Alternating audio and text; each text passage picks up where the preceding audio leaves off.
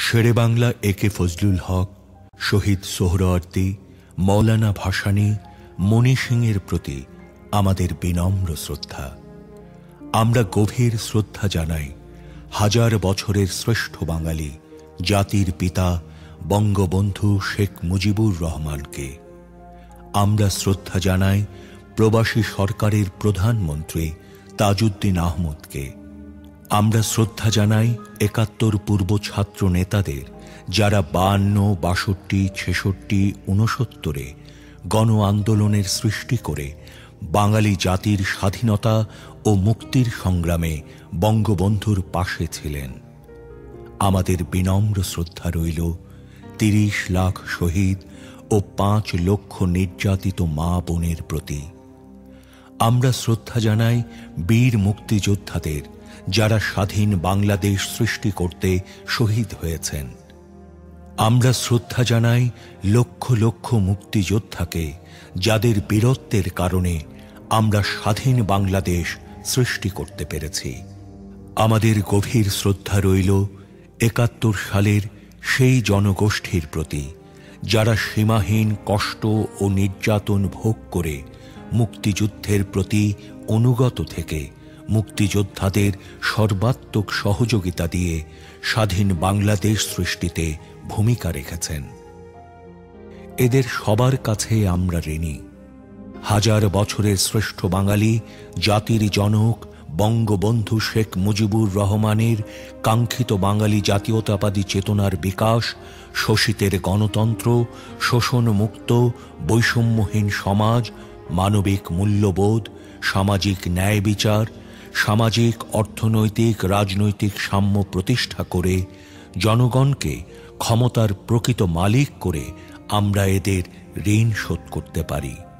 আসুন, আমরা আমাদের পূর্বসূরীদের ত্যাগকে স্মরণ করে তাদের নির্দেশিত পথে দেশকে এগিয়ে নিই।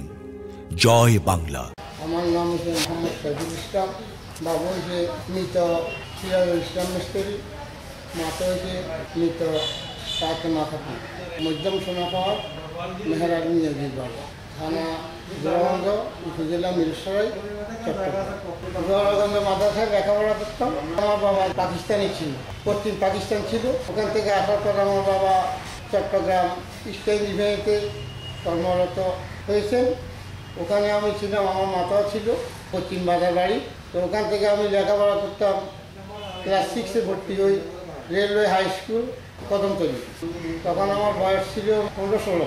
ছাত্রলীগের সাথে দৌড়াদৌড়ি করতাম। তখন আমি এম আজি সাহেবের পিছনে দৌড়তাম। বিহারি বাঙালির সাথে মাইপিট দেখলাম, বাড়িতে আসলাম, বাড়িতে আসার পর আবার গেলাম। তারপরে যুদ্ধ আরম্ভ হইল, এখানে গোলাগুলি আরম্ভ হইল। বাসার থেকে কোনো লোক বাইরে দিতেছে না, ভয়ে। আমরা যে বাসায় ভাড়া থাকতাম, ওই বাসার পাশে বাড়ির একটা ছেলে আমার সাথে খুবই নিয়ে এসেছিল জাহাঙ্গীর বলির নাম। ও করে সাইডে চলেন যে আমরা ইন্ডিয়াতে চলে যাব। কারণ বাড়িটার কভার থেকে তিনশো টাকা আমি চুরি করি। ওকে যে চলো দেয় ইন্ডিয়াতে চলে যায় ওই ছেলেটাকে নিয়ে যখন মিরিজি থানাতে আসলাম, রেজাকার, আমারই শিক্ষক, মাওলানা আবুল বসর কাশেম বলি আর একটা রেজাকার ছিল, ও গাড়ি তো লোক নামাই নামাই চেক করতে গোবিন্দাপুর বাড়ি ও দুজনের বাড়ি আমাদের দেখা আমাদের জাহাঙ্গীর, ওই ছেলেটারে খারাপ করে তোমরা দাঁড়াই থাকো। কোন জায়গায়? মিরসিং থানার সামনে। তো ওরে বললাম যে ইয়া করলাম আমাদের রাজাকাররা তো দিতে পারে দুটো বস্তা থালার বস্তা থালার বস্তা দুটো দিতে ওরাতে দিচ্ছে যদি ধরে তোমার কমতে ধানের লাগাই এইভাবে আসলাম আসার পরে দেখি আমাদের বাড়িরও কিছুই নেই। এই উত্তর সোনাপাহাড় থেকে দক্ষিণ সোনাপাহাড় পর্যন্ত এই দুই একটা বাড়ি ছাড়া গাছের পাতাও নেই সব জালে ফেলছে পাঞ্জাবিরা আমার নানি দুটা ট্রেন দিয়ে আমার নানি ওখানে থাকতো। জাহাঙ্গীরেরও রাস্তার মাথায় থুইয়া গুজব রাস্তার মাথায় থুইয়া এক দোকানে বসাই আমি গেছি নানি দেখতে। আই দেখি দুই জায়গা এলাকারে ওই জাহাঙ্গীরের গাড়ি চুরি নিচ্ছে নিয়ে যাবে। আমি বললাম যে, দাঁড়ান, আপনারা দাঁড়ান, ওকে কেন নিয়ে যান? ওর তো ধানের জন্য আইছি। এখানে ওর কাছে বস্তা আছে ওনার জমিন আছে এখানে। যাও, অনেক কষ্ট দিন এখানে আশেপাশে লোকেরা আমি সব, উনি সব, ওরা নিয়ে নোয়াখালী শ্রীনগর ওখানে উনি ওখানে শ্রীনগর একটা ক্যাম্প করছিল ওখানে গেলার পরে দেখি যে এত সুবিধার নয় যাইয়া মন উঠতে যাই হয়েছিল ওখানে আমাদের কালু ডাক্তার ছেলে শঙ্করবাবু শঙ্কর টঙ্কর সবাই আছিল তা আমরা হরিণা ক্যাম্পে গেলাম। হরিণা আপনার ক্যাম্পে গেছি আর লাখ পাইলাম। আমার মাও ধরালাম কামাল উদ্দিন স্বাধীনতার পরে এখানে চেয়ারম্যান ছিল কামাল উদ্দিন আরও কয়েকজনের লাখ পাইলাম। মন্টু বাবুর কাছে নিল। তাই ও ট্রেনিংয়ের দরকার নাই। ওখানে থাকো তো এই মন্টু বাবু আমার এই কোনোরকম নাম লেখাবে তাদের দেনা যাইলে নাম লেখে বেলাই দেনা তার মন্টু একদিন ইয়াত গেলো কোন জায়গায় গেল। দেশে পরে আমি লাস্টে যাইয়া নাম লেখাইলাম, তাও দে নাম লেখে গেলে কিনা? কয়, তোমার নাম তুমি দেখো আমার এই মন্টু বাবু আইলে আবার চিল্লেনি তো তারপর নাম লিখলাম, আর্মি ক্যাম্পে গেলাম, ওখান থেকে আমাদেরকে বগাফার নিয়ে গেল প্লাটন ভাগ করল। আমি আট নম্বর প্লাটনে ছিলাম। তো ওখানে ট্রেনিং হলো।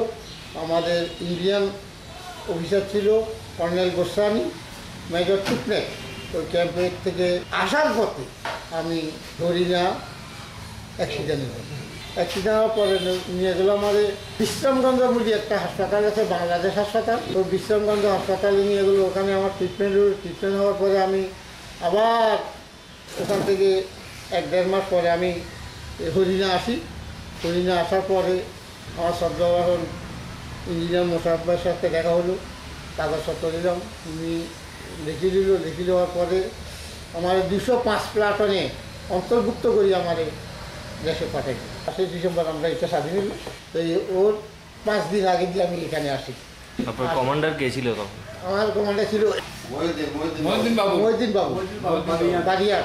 আসি দেখি বাড়ির সব জ্বালানি একটা কথা আছে আমাদের এখানে যারা মুক্তিযোদ্ধা এই বাংলাদেশে ফয়দা হয়েছে তার ভিতরে চোদ্দানি কিন্তু অশিক্ষিত ছিল দুইয়ানি শিক্ষিত ছিল ওনারা আমাদেরকে পরিচালনা করছেন। আঙ্কেল এরপরে কোথায় গেলেন? এই যে আপনার শেষের দিকে ঢুকলেন। আট তারিখে তো হানাদার মুক্ত হয়েছে মিরেশ্বরাই। এরপরে আপনি কোথায় গেলেন? এরপরে আবার মালয়েশিয়া ক্যাম্পে গেছি। চট্টগ্রাম বাটিয়ারি মালয়েশিয়া ক্যাম্পে গেছি ওখান থেকে আমার মিলিটারি একাডেমি গেছি। ওখানে মাস দেড় মাস ছিলাম। মাস দেড় মাস পরে আমরা বাহাত্তরি এখন যে আনসার ক্যাম্প করছি। ফয়েজ লিগ ফয়েজ লিগ। আমরা প্রায় তিন মাস ছিলাম ওখানে। এই ফয়েজ লিগ যাওয়ার পরে তিন মাস ট্রেনিং দেওয়ার পরে কিছু আর্মিতে গেছে কিছু বিডিআরে গেছে বিভিন্ন জায়গা গেছে কিছু এমওডিসিতেও গেছে। CMS ward boy ward boy চাকরি নিচ্ছে আপনি কোথায় গেলেন তখন আমিও মানে সিএমএস এ কর্মরত ছিলাম কিছুদিন তখন আমার তো ওইটা ভালো লাগে না আমি নিজে রিজেক্ট দিয়ে আমি আসি প্রধানমন্ত্রী শেখ হাসিনা আমাদেরকে যে মূল্যায়ন করছে ওনাকে অসীম ধন্যবাদ জয় বাংলা জয় বঙ্গবন্ধু তিরিশ লক্ষ শহীদ ও পাঁচ লক্ষ নির্যাতিত মা বোনের সম্ভ্রমের বিনিময়ে আমরা স্বাধীন। লক্ষ লক্ষ মুক্তিযোদ্ধা বীরত্বের সাথে যুদ্ধ করেছে বলে আমরা স্বাধীন। হাজার হাজার যোদ্ধা বীরত্বের সাথে যুদ্ধ করে শহীদ হয়েছে বলে আমরা স্বাধীন। কোটি কোটি লোক আমাদের সমর্থন করতে গিয়ে অবর্ণনীয় দুঃখ কষ্ট সয়েছে বলেই আমরা স্বাধীন। হাজার বছরের শ্রেষ্ঠ বাঙালি, জাতির জনক বঙ্গবন্ধু শেখ মুজিবুর রহমানের কাঙ্ক্ষিত বাঙালি জাতীয়তাবাদী চেতনার বিকাশ, শোষিতের গণতন্ত্র, শোষণমুক্ত বৈষম্যহীন সমাজ, মানবিক মূল্যবোধ, সামাজিক ন্যায় বিচার, সামাজিক, অর্থনৈতিক, রাজনৈতিক সাম্য প্রতিষ্ঠা করে জনগণকে ক্ষমতার প্রকৃত মালিক করে আমরা এদের ঋণ শোধ করতে পারি। আসুন, আমরা আমাদের পূর্বসূরিদের ত্যাগকে স্মরণ করে তাদের নির্দেশিত পথে দেশকে এগিয়ে নেই। জয় বাংলা।